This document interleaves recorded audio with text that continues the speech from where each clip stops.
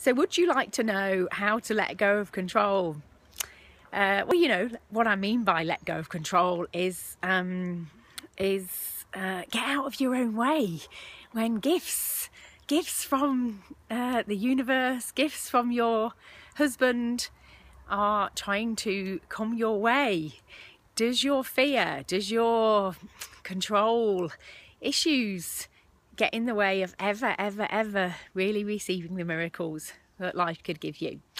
Well, I just want to share a, a quick story tonight um, to as an example of, of how you can let go of control.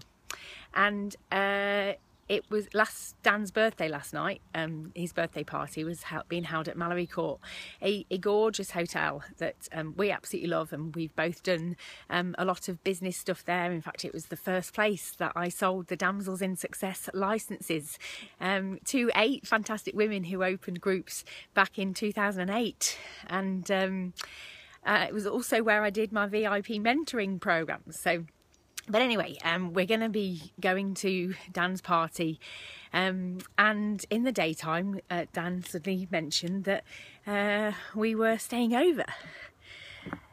Like something about like, oh yeah, well obviously we'll get to have a lie-in tomorrow, and I was like, uh, will we? Uh, I didn't know we were staying over, and he was like, oh, oh, uh, okay, and uh, I said, and more importantly, neither does our babysitter. I mean, we've got three children and it's three o'clock in the afternoon and uh, it's already taken me a, a, lot of effort to organise the logistics to have three children just be uh, um, be organised for that evening. So uh, I noticed my fear come up and it was so tempting to kind of point out how ridiculous it was of Dan to expect us to um, stay over and and also like why the hell hadn't he mentioned it? And and how did I not get communicated with? And you know all my old patterns of, of being a you know drama queen and like controlling and my need to be right. And instead I just said well whatever you think I'm sure you'll figure it out. And he did. Like within minutes like he rang um, our babysitter up and said, uh, you know, uh, you know, I know it's short notice, but any chance you could have the kids, you could stay overnight and and have a, have them overnight? And she said yes, she could.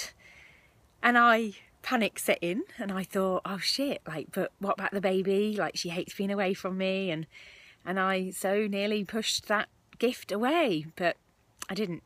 Instead, I just said, great, thanks for sorting that. And of course, they were fine and Dan and I got the gift of an amazing birthday party and a great night away. But more importantly, he felt respected and trusted, and the intimacy between us was better than ever. And that's a gift worth having. And sometimes we have to get out of our own way and surrender a bit of control in order to get that gift. So I just thought I'd share that, but do let me know what you think. I'd love to know maybe your examples of how you've let go of control and allowed the gifts of life to come your way. And I'll see you very soon. Lots of love. Bye.